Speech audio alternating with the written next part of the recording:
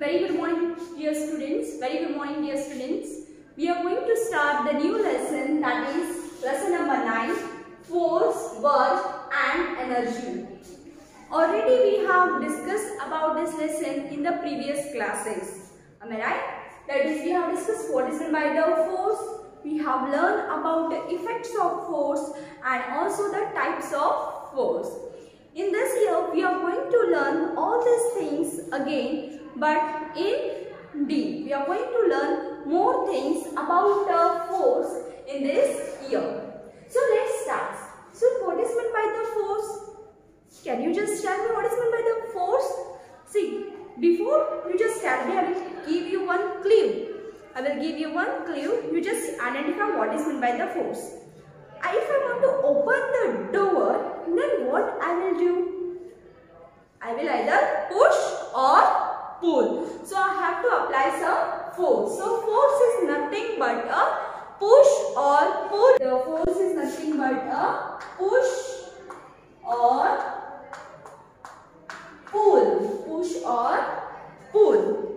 That is called that is called as a force. If we want to do any task, either now see if I want to open the door, either I will push it or I, I either I will push it or I will. Am I right? We have also discussed about the effects of force. Now, see, in number of times when we are applying the force, it is not necessary, it is not necessary that the object should be moved. Now see, if I will apply the force on this wall, whether the wall is going to move, whether the wall is going to move, no. Yes or no? So, every time it is not when we will apply a force uh, on an object, the object will move. So now the next point is about the effects of force. Now what is the effects of force? What are the effects? Means what? Because of the force, can you just tell me what things are going to be happen? For example, now suppose if we will consider this is a chalk okay now if I will put this hand. If it is moving I can stop this. Yes or no? So how I have stopped it? Because force can stop the moving object. I, I have applied some force so this chalk has stopped. Yes or no? So force can stop the moving object. For example, now when you are playing a football, cricket, at a time you are catching, means the ball is moving, you are, you are catching the ball, you are holding the ball, am I right? So how does it happen? Because the force can stop the moving object. Force can move the object. Now while playing the football, if the football is stationary, now see, this chalk is a stationary. Stationary means what? It is at rest position. Now I want to move this. Whether now if I will tell to the chalk, it get up, you have to move to the right or you have to move to the left. Whether the chalk will do by themselves? No, as it is not non-living thing, I have to apply some force. I have to apply some force. When I will apply some force, either it will move. Means force can move the stationary object. Force can move the stationary object. Force can change the direction of an object. The best example for this force can change the direction of an object is while playing the cricket. The bowlers, the bowler will do the bowling, the batsman will hit the ball. Yes, the ball is coming towards the batsman. Am I right? the ball is coming towards the batsman, uh, batsman and batsman hit the ball. Yes, means what the actually the batsman is doing, it is changing the direction of a ball. It is changing the direction of a ball. So this is the best example for the change in the direction. The force can change the direction of an object. There are the different example now while playing the football also. When the ball is coming towards you, you change the direction of an particular ball. Then force can change the shape of an object. Now, if you will see the example you can just we, we can give the example that is uh, force can change the shape of an object. If you will take a balloon if you will not blow the balloon how is the shape of the balloon? It is just like this. Yes or no? When you will blow the balloon it will be like this. Yes or no? Means we can change the shape of an object means force can change the shape of an object. So these are the effects of force. What the force can do? Force can can stop the moving object. Force can move the object. The object which is stationary we can move the object by applying the force. Then force can change the direction of an object. Force can change the shape of an object. So these are the effects of force Force is nothing but push or pull. The effects of force are force can stop the moving object, force can move the object, force can change the direction of an object, force can change the shape of an object. Are you getting this? Now there are the two MCQs. See, the push or pull of an object is called as force. So take to the force everyone. The next is, everyone completed? To move an object, we need money, truck or force. Yes, to move any kind of the object, we need a force. We need a force. So, take to the force. I hope you might have completed. Now, the next point is types of force. What are the types of force?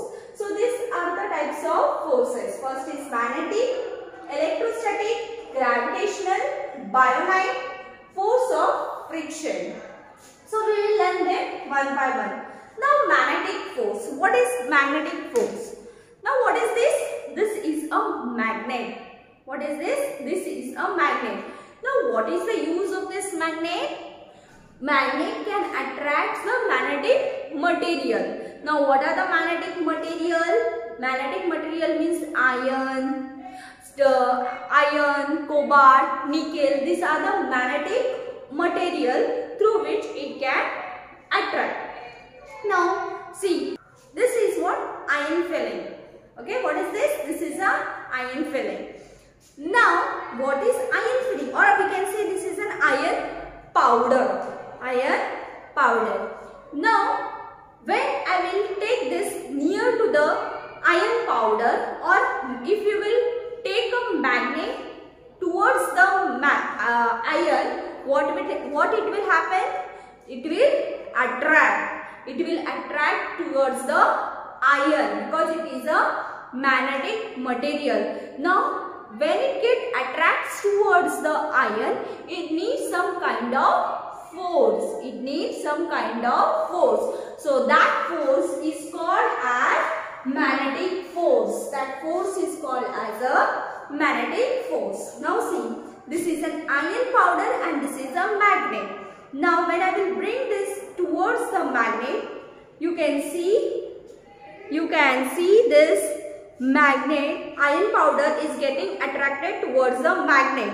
For this, it needs a some force. Magnet needs some force to attract the iron powder. That force is called as a magnetic force. That force is called as a magnetic force. Are you getting this? The next is electrostatic force. Now, for the electrostatic force, see in this I have taken some paper. I have taken some paper and I have used one scale. Now when I will rub this, when I will rub this, the it will get the papers will get attracted towards the this scale. What happens? How does it get attracted? Because it develops some charge. It has developed some charge. So that force, uh, it is called as a electrostatic force. That force is called as a electrostatic force. When you will rub this scale, what will happen? This uh, papers will get attracted when you will rub this uh, pla plastic scale. These uh, papers will get attracted towards this scale because this scale has developed some charge that charge, that force is called as a electrostatic force. That force is called as a electrostatic force. Are you getting this? Magnetic force and electrostatic force. Have you understood? Now, the next is gravitational force. Now, what is the exactly the gravitational force? Now, now this is a chalk. When I will throw this chalk, it will fall down. It will fall down. Now, if you will jump on your place, you will fall down. Am I right? Once you will jump, you will fall down. Means everything once we, we, are, we will throw up, it will fall down. Why does it so? Because of the earth gravitational force. Because of the earth gravitational force. Because earth pulls us down. Now I have dropped one chalk. What happens? The earth has applied the force to come down to the chalk. So the uh, chalk has fallen downwards because of the gravitational force. Have you understood about the gravitational force? Now next is Buoyant force. Buoyant force. Now see, if I have taken a water in a bucket, I have taken some water in a bucket and I have used a plastic ball. I have used a plastic ball. The plastic ball, the plastic ball will float on the water. The plastic ball will float on the water. Are you getting? And if I will apply the force on that plastic ball and I will apply the force to deep into the water, the water will apply the opposite force. The water will apply the opposite force to pick it, uh, pick it up. Yes or no? Pick up this. Pick up this ball. The, the water is going to apply the opposite force. So that force is called as a Buoyant force. That force is called as a Buoyant force. The opposite force which is uh, which is applied by the water on this ball, that force is called as a Buoyant force. Then the last four type of the force is force of friction. The last type is force of friction. Now what is the force of friction? The force of friction is nothing but the force which slows down the movement of an object. The force which slows down the movement of an object. Now see this is a chalk. After some times, if, if you will see, after some times it will stop. Yes or no? It is going to stop. Now once I will move, after some times, after rolling, it will stop. Yes or no? So why does it stop? Because of the force of friction. Because of the force of friction. Now when you are paddling the bicycle, after a number of paddles, if you will stop paddling, the cycle will move for some distance and it will stop at a particular point. Why does it happen? Because of the force of friction. Because of the force of friction. Now there are some advantages about the force of friction. Also there are the disadvantage of the force of friction. Now just what are the adva advantage of the force of friction? Let's see the advantage of the force of friction. We can easily ride on this smooth surface. I can easily ride on this board as this board is very smooth. But can I ride on the wall easily? No, I can't write on the rough surface easily. Am I right? So this is the one of the advantage of the force of friction. Friction help us to walk. Now, if the surface is very smooth, if the surface is very smooth, can we walk on a very smooth surface? No. Now suppose if the banana peel is fallen on the road and by mistakenly if we will put the leg on it then what will happen? We are going to slip. Why does it happen? Because there is a very less amount of friction. Because there is a very less amount of friction. Now the advantage, now see one more advantage. The friction between the road and the tire. The road and the tire. I have of a bicycle. After pedaling, if you will stop pedaling, the cycle will stop at a particular time. Yes or no? Why does it happen? Because of the friction. So these are some advantages of a friction. Now there are also some disadvantages of the friction. Now can you just tell me what will be the disadvantages of friction? Now if we will take the example of the machine. If the if we take a machines are working day and night, it, it, it can reduce the friction. So for that we have to we have to put some oil or in a swing machine. Your mother might be having the swing machine. It generates a heat.